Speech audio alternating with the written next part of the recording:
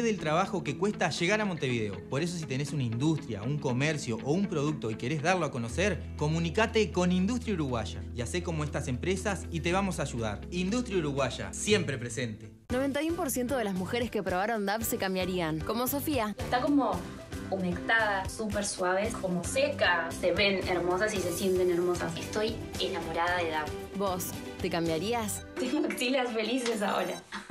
Informe de Industria Uruguaya.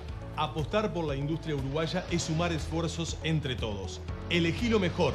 Industria Uruguaya. Participan Lácteos Pipos, Friopan, sin conservantes, Los Dos Carlitos, Artesanos por Naturaleza, Pastas Congeladas, La Superior.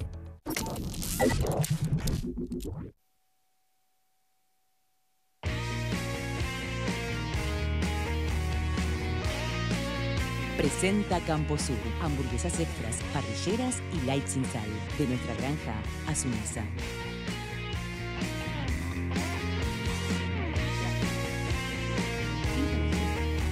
Todo suyo.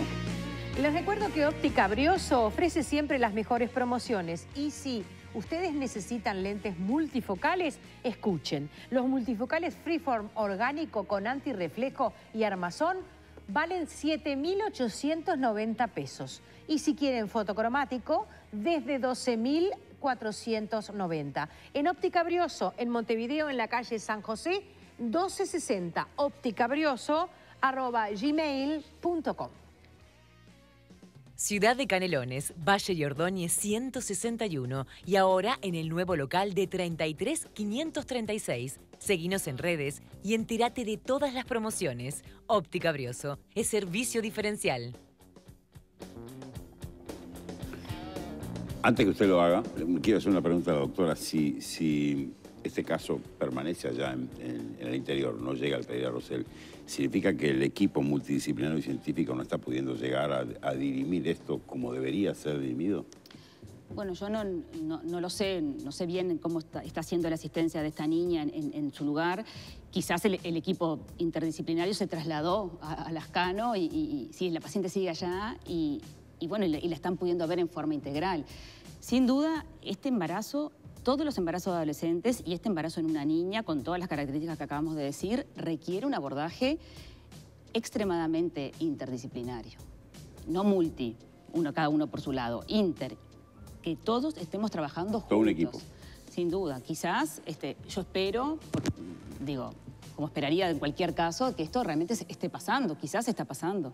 Este, yo quiero tomarme un minuto para hablar de alguien que admiro mucho profesionalmente, ya no está en ejercicio de la profesión, y es la doctora Estela Concelo, eh, que fue para nosotros un referente durante años a la hora de eh, trabajar periodísticamente, justamente acercándonos a esa maternidad del Pereira Rosell. Yo creo que el equipo mejor formado para esta temática es el Pereira Rosell, dice la doctora Concelo escribiéndonos, donde funciona desde hace muchos años una unidad dedicada a este fin. Eh, gracias a la doctora Estela Concelo, gracias por acercarnos su opinión, que obviamente enriquece y jerarquiza todo lo que podemos llegar a decir o hacer nosotros acá, que no es más que poner el tema sobre la mesa, o sea, eh, acercarnos a ustedes y eh, escucharlos. Buenas tardes, cada día estoy más convencida de lo esencial que es educar sexualmente a nuestros hijos pequeños educarlos sobre su cuerpo, sobre el respeto hacia él eh, y educarlos sobre los demás, alimentar la confianza charlando con naturalidad. Es la herramienta más valiosa que les podemos dar. Esa alerta que se enciende cuando nos enfrentamos a algo que no está bien. Hay que vencer los prejuicios y charlar en familia. Eso es prevenir, dice Natalia, que dice además gracias es bien interesante porque esta niña que hoy tiene 12 años y acaba de pasar a este, la, formación en secundaria, eh, fue abusada mientras estaba eh, en quinto y en sexto de escuela. Eh, y ahora llegó, no sé si es este, a la UTU o al liceo, no, no lo tengo presente, pero también ya estaba en, este, a esa altura. Es decir, hubo una cantidad de personas que circularon en su vida. Eh, a su alrededor, eh, que la habrán evaluado por otras razones y que no notaron esto. Este, y yo no estoy culpabilizando a nadie, ¿eh? estoy diciendo que si llegamos tarde es muy grave porque también tenemos que saber que las niñas y los niños que pasan por situaciones de abuso, sobre todo intrafamiliares, tienen que vencer muchas barreras para poder relatar. Dentro de las barreras es la falta de información, por eso ese mensaje me parece clave. Hay muchos abusadores que les dicen, no te estoy haciendo daño, esto lo hacen todos los padres, esto se hace así en las familias, eh, no saben si eso es algo abusivo o no es abusivo. Otra de las barreras que tienen que vencer es la ambivalencia, porque esa persona tiene un lugar afectivo importante y de referencia. Entonces, si yo cuento esto, ¿qué va a pasar? Sus propios miedos, la traición, ¿no? Porque em, en, general se censura mucho cuando alguien traiciona o no es leal con la familia, ¿no? Porque siempre se piensa que la familia es lo primero y que los trapitos sucios se limpian en casa. Entonces, ¿cómo voy a traicionar? ¿Cómo voy a ser desleal? Entonces, tan importante que eh, se trabaje desde los adultos y desde las instituciones donde trabajan los chiquilines. Si vos empezás a colocar este tema en la currícula desde inicial hasta que termine su trayecto educativo, los niños y niñas, todos los años, fortaleciéndolos como eh, en sus derechos, hablándoles sobre qué es la educación sexual, qué es violencia sexual, qué no, cuáles son las relaciones libres de violencia en el noviazgo, en, las familias. Los gurises tienen información, la información es poder, tienen referentes afectivos, que son sus maestros o sus docentes, y tienen un campo de posibilidades para poder quizás contarnos, mostrarnos, y a su vez tenés que tener docentes atentos, con, ojos entrenados para poder detectar esos indicadores. Lo mismo los pediatras. Ha habido muchos casos donde docentes han detectado. Muchísimo. No sé cómo es este caso, yo no lo conozco, no estuve allá, no conozco por menor alguno, pero yo sé que hay docentes que han eh, visto entre líneas algo y lo han denunciado. Los docentes, los CAIF son un lugar que también que, muchas veces Los pediatras, los ginecólogos también. Pediatras. Yo creo que los ginecólogos llegamos más tarde, sin duda. Este, porque esto arranca, claro, pero que esto arranca en, en la edad pediátrica muchas veces. Claro. Nosotros podemos ver algunas cosas, pero en general. Sí, a los ocho años tú no hubieras visto a esta chica. Y es excepcional que veamos una. A veces vemos niñas de ocho años, pero es, excepcional. Claro. Y también es verdad que esto no, no, no irrumpe como, una, eh, como un abuso sexual este, terrible del punto de vista como uno se lo puede imaginar físico. Esto em, empieza de a poco, ¿no? Esto es de a poco. Esto no, no, esto no, no fue derecho al abuso sexual como uno se lo puede imaginar, ¿no? Bien. Este, entonces, por eso es tan importante también lo que decía Andrea de la, información y la educación sexual a los más chicos. ¿Qué cosas nosotros, a, qué cosas a un niño le pueden tocar y no, tocar? ¿Qué cosas, eh, ¿no? ¿Qué cosas son privadas? ¿Qué cosas solamente mamá? O sea, porque esto no empieza de golpe. ¿No? Claro, este, señor abusador no empieza a abusar hace cuatro años como em- abusaba ahora. Exacto. Exacto. Y digo yo, este, poniéndome en, algún lugar que quizás sea el peor, este, este señor ya sabía que esta niña estaba embarazada. Eso no lo podemos saber. Y bueno. ¿Cuatro meses de embarazo? ¿En una persona que es un abusador? ¿En un cuerpo que él, que él tenía para abusar? Él ya, él ya sabía que esa niña estaba embarazada. Perdón, es mi conjetura, pero... Están tratando de ver las demás niñas que que, no son hermanas de nada que más son que de hermanas, que había un padre más presente, este, si había, ha tenido este, alguna, alguna intento de abuso. Están, en ese proceso ahora, en estos días. Eh, me alegro que hablen ampliamente del tema estas dos grandes profesionales, dice Mónica Pérez Fedulo. Hay que hablar más en casa de estas cosas, pasan más frecuentemente de lo que creemos. Con información y educación es mucho más fácil prevenir. Gracias, nos dice con mayúscula, por estas invitadas. Eh, doctora, yo le agradezco que usted haya dicho qué cosas sí, qué cosas no. El valor del no muchas veces lo ha trabajado tú, Ana cuando los niños pueden decir no, pero claro, tienen que tener cierto arete, cierta, cierta ubicación como para decir no, ¿eh? y si alguien decide que sí, ese, eso se transmita pero es todo tan complejo a la hora de presionar a un niño, de seducirlo desde, desde con un truco, con una mentira, con una extorsión, no sé, hasta con un dulce. Esta niña a los 12 años quizás, o a los 13, a esta altura de su vida de abuso sexual, quizás las relaciones sexuales con esta persona las consentía, lo voy a decir entre comillas, ¿no? Entre comillas. Sí, claro. ¿Esto era consciente? ¿Esto era libre? Claro. Lo mismo pasa con la evolución del embarazo. O sea, es el mejor ejemplo que este, acabas de Me que parece que acá el poder de decisión de esta nena este, no existe desde el, inicio. De ahí en adelante todo está mal. Este, lo que nosotros tenemos que tratar de hacer como profesionales es evitar daños mayores, es evitar mayores daños. El daño ya está hecho, el abuso ya está, el embarazo ya está, tenemos que tratar de evitar daños mayores. Complementando ese ejemplo que tú dabas, hay, en, los, en los casos de abusos crónicos a veces sucede que entrada la adolescencia, eh, las adolescentes quieren irse a vivir con los abusadores. Y cuando el abuso sexual eh, se detecta, obviamente se protege, ¿no? No se da lugar a esa opinión y a ese deseo del adolescente de vivir con el abusador, que ha sido su padrastro o que hasta a veces ha sido su, Su propio padre, padre. su propio padre. Entonces, así como consideramos que esa opinión no es válida porque no es libre, no es consciente y es producto del daño, en, en este caso de un embarazo forzado tenemos que analizarlo de la misma manera. Doctora, en las consultas usted logra mm, in- in- darse cuenta si en las familias hay un porcentaje de familias donde estos temas se hablan o tú dirías, te voy a tutear, tú dirías que estos temas siguen siendo como antes se decía tabú a nivel familiar. Yo creo La, que... la sexualidad, el tema del respeto, el espacio. Yo creo que lo que se habla ahora y realmente se habla más este, es el tema de, eh, de la sexualidad Hacia, un poco hacia afuera. Sí, este, y de la prevención del embarazo en las adolescentes más grandes, eso ha, pasa- ha cambiado. Nosotros, los ginecólogos y las ginecólogas, cada vez recibimos más este, adolescentes este, chicas, este, donde la madre ve que empieza a salir con alguien, chicas que quizás tienen muy lejana la idea de empezar a mantener relaciones sexuales, pero la madre la trae porque yo le hablo, doctora, pero mejor que le hable usted. Y el adolescente a veces eso sí se empieza a hablar. Yo creo que eso se está hablando, pero siempre la- se habla de sexualidad desde el lado de la prevención del embarazo, ¿no? Este, la, la familia lo que intenta, lo que quiere evitar es el daño del embarazo no buscado en un adolescente. Claro.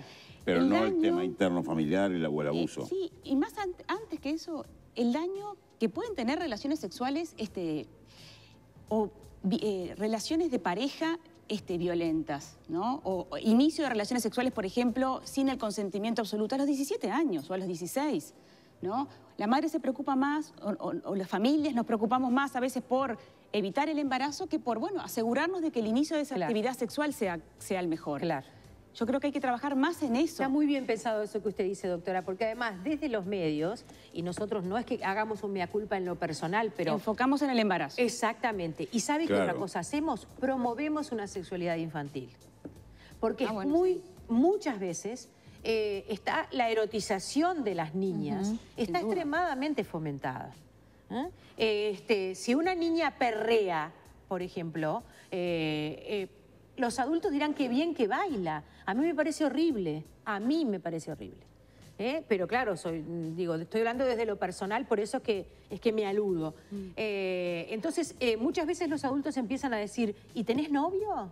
Sí, sí. Y la niña dice, no, dale, tenés que tener novio. Y no me querés decir. Y ya empieza un juego, eh, con lo linda que sos tenés que tener un novio. O al revés, a los varones también les pasa lo mismo. No estoy pensando solo en las niñas. La hipersexualización de la, de la infancia es, real. Y tenés que tener un novio si es una niña. Y si tenés que tener una novia si es un varón. Exacto. Y puede, puede querer tener una novia si es una nena y puede querer tener un novio si es un varón. O sea, Entonces empezamos a, a trabajar en esa, en esa este, eh, sexualidad desde, desde un lugar que además parece gracioso, que seguramente estamos pesando, ¿no? Porque, ¿cómo no? Decime la verdad. Hasta que al final el niño a veces dice, sí, fulanito es tu novio, no. ¿Estás seguro? Bueno, sí, o sea, es todo como un juego. Pero claro, pero es terrible. es terrible. Igual yo siento que hay, Terrible. perdóname, eh, opinión masculina y también hablo personalmente. Siento una mucho mayor sanidad en la juventud respecto de lo sexual y, y el inicio de las relaciones de, de lo que era antes. Lo siento porque lo escucho, lo puedo Mm. palpar Sí, en sí. el aire. Lo que sí veo es un índice creciente o, o no sé a qué atribuirlo del tema de- de- del abuso infantil, intrafamiliar y no intrafamiliar de la explotación, eh, de todos estos temas que nos, de la violencia, eso sí veo como, como que se ha ido disparando. Lo que sí noto es que la- los chicos y chicas y también las opciones sexuales diversas tienen una, están como más eh, sin estrías, o sea, van, van como más caminando mejor en la gente joven que no pasaba eh, cuando yo fui joven, que era, era, eso, ¿no? Era eso que tú decías. Y además eh, había todo como una cosa secreteril. Mm. ¿eh? tabú. Este, claro, que en realidad es un tabú. Estoy capitalizando los saludos para nuestras invitadas. Felicito al programa, dice Ana Sánchez, y a las entrevistadas. Lamentablemente, estos casos cuando suceden fuera de Montevideo se agravan más, pues nos conocemos todos y todas y salen a decir sus nombres y se victimiza mucho más a estas niñas. Y voy a Evelyn, que creo que tengo que leerlo entre líneas, o mejor dicho, yo lo leo textual y ustedes tendrán que interpretarlo. Porque Evelyn dice, buenas tardes, hay que seguir hablando y previniendo. Si hace 50 años se hubiese hablado, hoy seríamos más las mujeres felices. Gracias por hablar. Qué, buen mensaje. Yo creo que sí, por eso digo, creo que hay que leerlo, leerlo. Y, Unido hombres, eh, miren que, miren que eh, y hombres, el padecimiento de alguien que abusa de una niña tiene que ser, se lo regalo, se lo entrego, vuelto en regalito, se lo doy. Padecimiento del alma, ¿no? Tiene que ser algo, una, situación que no me animo a describir. O sea, hombres y mujeres iremos más felices. Sí, lo que pasa que yo creo que es un, muy buen mensaje y unido a, lo anterior que decías, Nano, de que las generaciones más jóvenes son críticas, críticas a estos modelos eh, conservadores, a estos modelos patriarcales, machistas, que colocan claramente también a los varones en ese cliché y en ese estereotipo eh, donde la violencia es parte de demostrar su virilidad. Pero obviamente no podemos desconocer que las principales víctimas somos las mujeres, ¿no? Claramente, de ese modelo cultural este, patriarcal, del que por suerte las generaciones jóvenes lo están criticando, lo están transformando, pero nos falta bastante camino por delante, porque seguimos viendo relaciones de violencia de género en muchachos jóvenes, ¿no? Hemos visto lamentablemente incluso casos de femicidios en muchachos jóvenes. Entonces, bueno, creo que es una alerta de que no todo está ganado, sino que tenemos un largo camino, pero por suerte hemos avanzado Quiero cerrar este espacio con un tema eh, colateral, pero, pero hermanado. Eh, la Red Uruguaya contra la Violencia Doméstica y Sexual es una asociación civil de segundo grado conformada por 35 organizaciones en todo el territorio nacional. Ha solicitado al señor presidente de la República una entrevista con carácter grave y, perdón, con carácter urgente. Motiva esta solicitud la necesidad de compartir el punto de vista sobre la asignación de recursos a las políticas públicas que atienden y den cuenta por ley de la atención en la erradicación de la violencia que está viviendo nuestra sociedad. La carta es más extensa, pero no queríamos dejar de consignar esta historia. Señoras, gracias por venir. Placer. Un placer. Gracias por un programa, el espacio. Un programa difícil, pero que creo que pudimos... Sí, el tema es difícil, pero yo creo que hay que hablarlo y hay que porque si no sigue quedando oculto, ¿no? Muchas gracias. A ustedes. Por su idoneidad y su bonomía. A ustedes, amigos, les cuento que si tienen una industria, una empresa, un comercio, no se achiquen por la situación en todo el Uruguay. Hagan como estas empresas que están apoyando a la industria uruguaya. Llamen al 091-640-044 que allí te van a apoyar y asesorar. Industria Uruguaya siempre presente y no te olvides, consumí productos uruguayos, apoyá y apoyate en la industria uruguaya.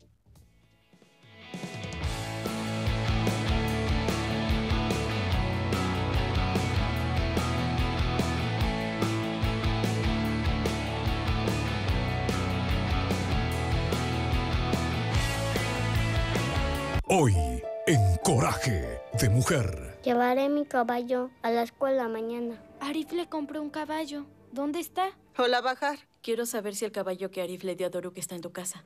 ¿Qué caballo? Sarpe enloqueció y rompió el caballo en pedazos. Dile eso. ¿Tú tiraste el caballo? ¿Me crees capaz de algo así? ¿Por qué exactamente estabas tan molesto? ¿Ya vas a decirme? Porque la policía encontró el cuerpo de mi madre Bajar. Y ellos me pidieron una prueba de ADN para aclarar la investigación. Coraje de mujer. No puedes comprarle nada a mis hijos. Especialmente no puedes comprarle tus estúpidos collares ridículos a mi esposa. Dejen de pelear entre ustedes por mí. Porque yo no quiero a ninguno. Hoy, al término de Escape Perfecto Famosos, en el 10 el canal uruguayo. Bebé, ¿querés que te cuente